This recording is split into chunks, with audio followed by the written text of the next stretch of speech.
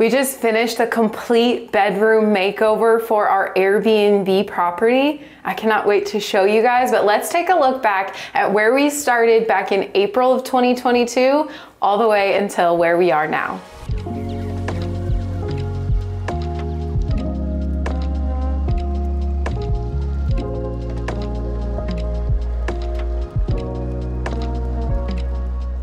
All right, you guys, the bedroom. We're going to be ripping out this hideous carpet. This is the wall that I am planning on doing an accent wall with. I am gonna be putting wood designs on this wall. But after we take the carpet out, we will be painting in this room. The rest of the walls thinking just white.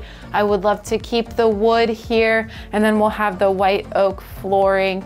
As far as a bed goes, I'm thinking a queen size bed frame that's a wooden tone as well and then two nightstands, maybe just one nightstand. The raffia over here uh, for the curtains and then along this wall over here, thinking of having a a desk um, instead of a dresser because you know a lot of people aren't going to need to be putting things into a dresser but sort of a desk that doubles as a little TV stand media stand thing at the end of the bed against the wall here. We'll have a TV in here so that we can deck that out with Netflix and Hulu to accommodate our Airbnb guests. Let me show you my mood board. Here is what I'm sort of thinking. Here is the white oak flooring and then up top as you can see that's the accent wall that I was talking about. So I'm gonna have the these are gonna be wood but they're gonna be painted the same color as the accent wall. They're gonna be sticking out about a three quarters of an inch or so from the wall. All different directions and all different um, widths of wood going on there as well. This is the type of bed frame that I just absolutely love. We might even have an accent chair over over here as well in the corner. And then of course, more plants for our guests to enjoy some fresh air. Let's get to it. We're gonna start removing some carpet. We are going to start here in the bedroom and we're gonna start in a corner and just start ripping out this carpet. All of the carpet up here is super old and then in here especially it's got stains like no other. I think there were pets here before so can only imagine what is on this carpet.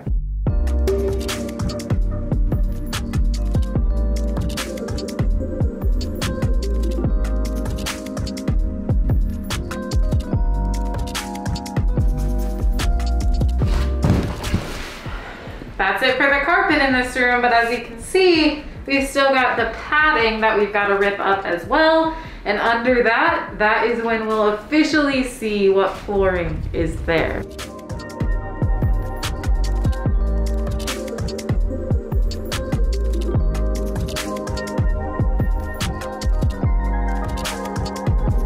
All right, here's our first pile of the bedroom. Not too bad. Won't be that bad carrying them downstairs. Or maybe we should throw them out the window. Ah, I like your thinking.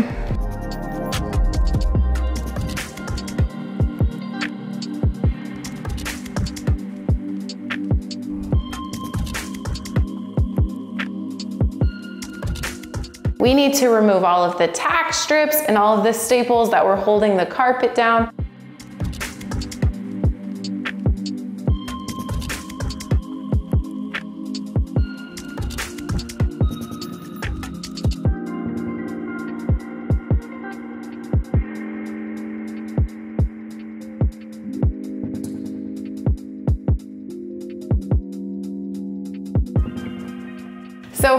This wall over here, we are gonna be tying in the blue color that I have throughout every single room in the Airbnb. I also want to make it into an accent wall by putting some different designs with wood MDF. And so right now what I'm gonna be doing is designing that and then just really planning out what pieces I need to go grab from the hardware store so that we have got the exact amount amount and and the just the design laid out here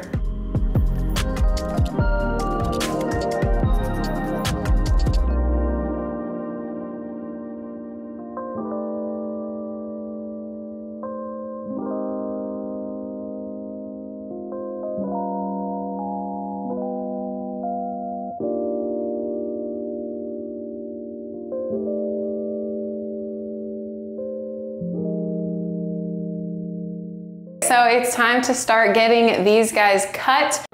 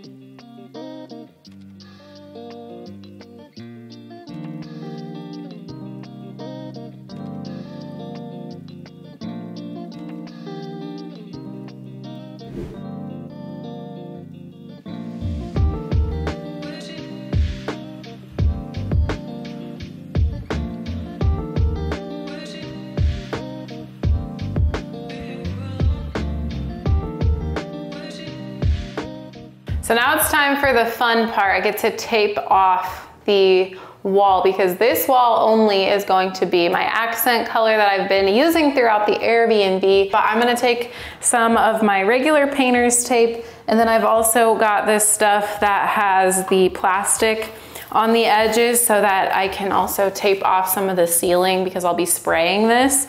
So I don't wanna get any of the blue paint on the ceiling because that would be a bad thing. I'm not gonna be painting the ceiling this time um, because it's actually in really good condition and it's basically already white. So no reason to do that again. Now that the room is completely taped off with my plastic and tape, I am ready to paint. And a lot of you guys have probably guessed it. We're going with the teal that is both in the kitchen and in the sunroom. So let's open this guy up and load it in our sprayer. So remember, this is the custom paint that I created with Beyond Paint. And then what I did is I went to Home Depot with a dried color swatch of that color I created and then I had them make that color with regular wall paint so that way I could have as close as possible. It's probably not exact but this is as close as I could possibly get to the same color as the kitchen cabinets.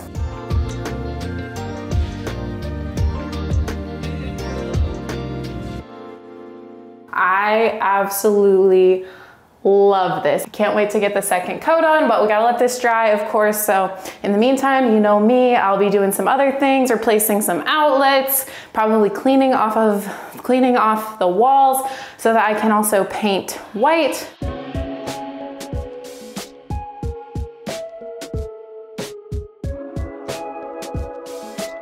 Second coat going on.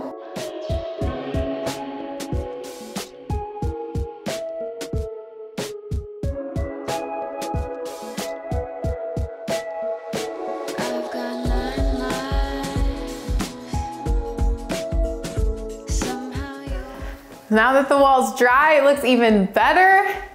And although I wanna just sit here and stare at this wall all day long, we gotta keep on moving to get this project finished. So next up, I'm gonna continue taping off all of these areas where I don't want the white paint now, so that then we can go ahead and spray all of the white.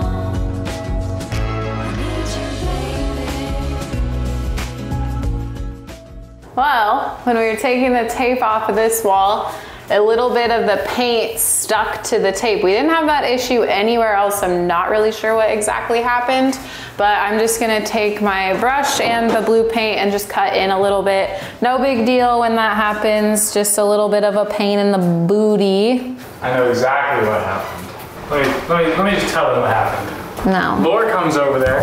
No, oh, no, no, Oh, we no, need to get no. this stuff done. Nope, nope, Harrison, nope, get the nope, audio nope. from my mouth. Nope, nope, no, Laura no, comes over here. no, no, we need no, to get this done. no, no, no. Wax. I did not. Play back the video, Harrison.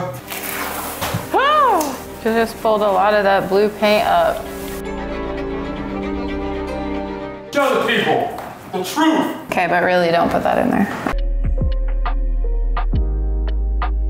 Today, we are gonna be focusing on this area right behind the door. So I decided that I'm going to be putting a desk in here and although the door kind of opens right to it, I think that if I get a thin enough chair or even something like a stool to go underneath the desk, that this area will be usable as a desk. And so what I need to do now is go ahead and sand all of those down, all of the spackling down so that we don't have any rough areas. And then we'll get to putting on the wallpaper.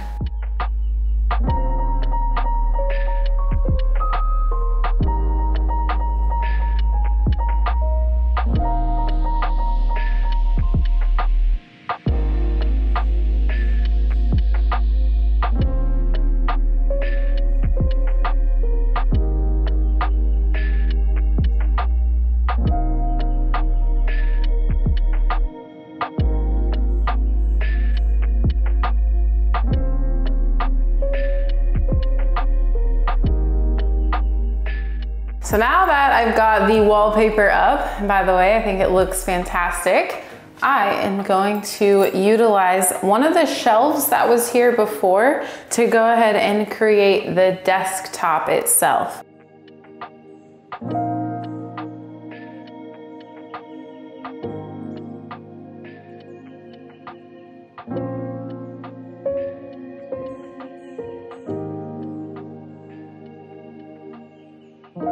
Look at that, you guys. We are level. Booyah. So, keep watching. I am going to go grab some decor and we're gonna pretty this space up.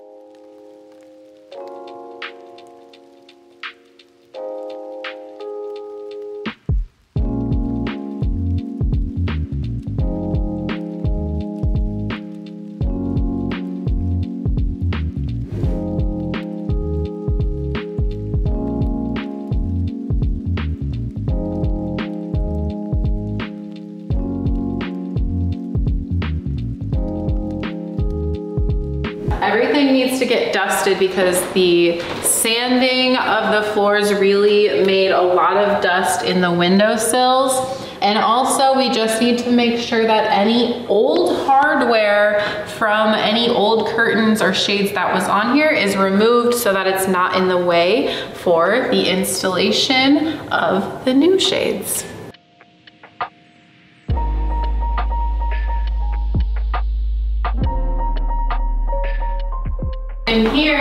We did the blackout, same color, but they're, they've got that additional backing on there, blackout. So because it's a bedroom, we don't really want that light, diff like, diffused light in here, like at night and stuff. So we did blackouts, and then if people want the daylight, they can just open it up like that. No big deal there. It's coming together.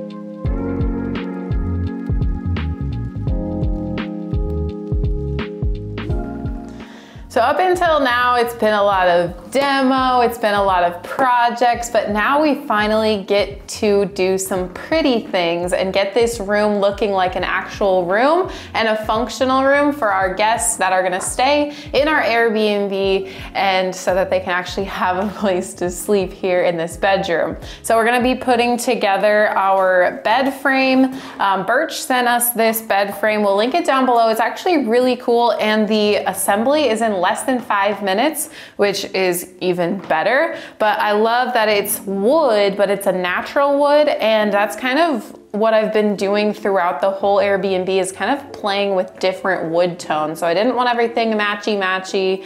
We've got dark trim. We've got a little bit of some lighter brown floors. The sunroom has the light floors. The kitchen has the lighter wood. So tying the lighter wood in with the bed frame is exactly what I wanted to do. We have a bed. So exciting. Oh my gosh. It's been a long time coming before we were able to get to this step. Our guests are going to just be sleeping on a cloud, honestly. This thing is so comfortable, and we know that that's something that's super important when you are hosting as an Airbnb host because that's like the number one reason why people get Airbnbs is to sleep and you want to have a really comfortable bed, which we do. So, next steps are to make the bed, get the nightstands in here, and then we've got to grab a couple of last minute things as well.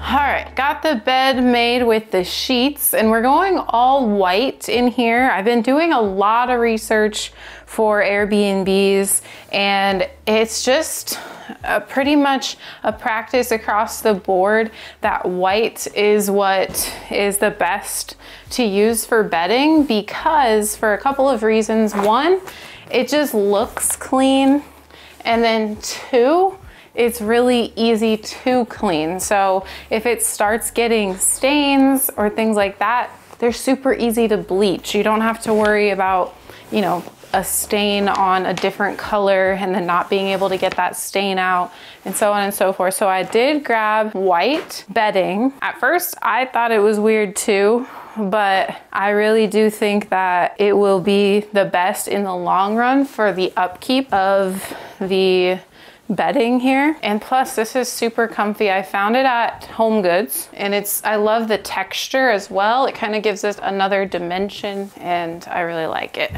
All right, it is time to put the nightstands in their place. I did redo these. They were white, but um, they were not done very well. So I just sort of revamped them a little bit. And then I also cut the base off and added some gold legs. And then I freshened up the old hardware. I love that these are actually mid-century nightstands, but they just have a new life. And that's kind of the whole goal of this Airbnb is to have a little bit of the old with a little bit of the new. So that's why I'm keeping a lot of the character in here as much as possible, um, but then also adding in some new things. So each of these nightstands are gonna go on both sides. And then we've got lamps, and then we've also got really convenient power strips, and we'll show you what we are doing to keep our guests in mind uh, for them to just be able to charge their accessories, their phones, things like that when they are here staying at the Airbnb. All right, we had you guys vote over on Instagram. So if you're following over there, thanks for voting. I was torn between four lamps from Target, and this was my gut, and a lot of you guys agreed with me. I just love the the roundness. I know it sounds weird, but like I think that the geometric shape of the wall and then this complement each other really nicely. It's not too square, it's not too round. And so um, I think these are gonna be absolutely perfect for these nightstands here. And then also it'll just kind of illuminate the room once we get them all plugged in and have the blinds shut. I think that these are gonna really give off enough light if someone wants to read. They're also dimmable, so that's really nice too for either side and either guest. Here it is. And like I said, it's dimmable, so it can go like pretty bright.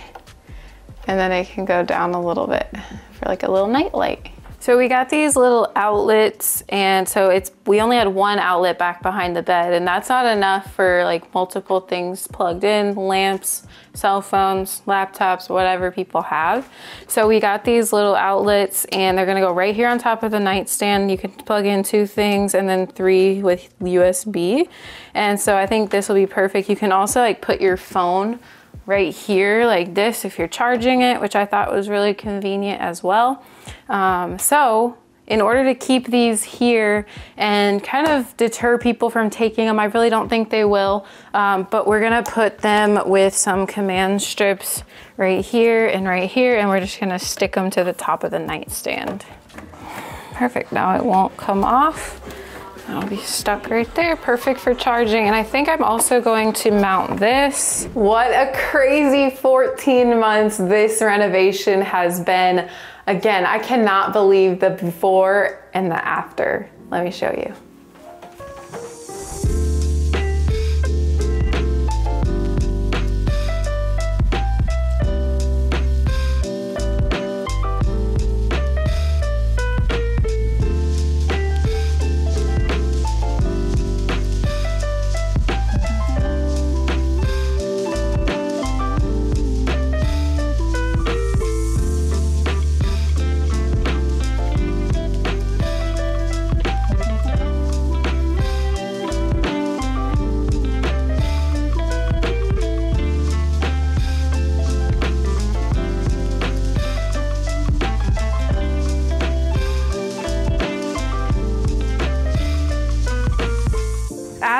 This whole property, it has been a long time coming, but I am so happy with the way that it turned out. And my favorite part is probably looking back to the very beginning in April of 2022 and seeing my mood board and my vision, and then now seeing it in real life because I was able to do that feature wall just as I had planned. We've got the wood frame bed, we've got all of the blue throughout. It just came together so well and I couldn't be more pleased with it. I hope you guys also enjoyed this video and also just enjoyed coming along with us as we looked back at the whole process. I can't wait for people to be able to stay here. I know that this is probably one of the more important places in our Airbnb and I really hope that guests feel at home and welcome in this space. Up until now, you guys have seen the bedroom makeover, the bathroom makeover, kitchen makeover, and so next it's only right to show you the sunroom makeover. So get subscribed down below so that you can see this room get fully transformed and get ready to rent it out to our guests via Airbnb. Thank you guys so much for watching. We'll see you next week and I'll see you on the flip side.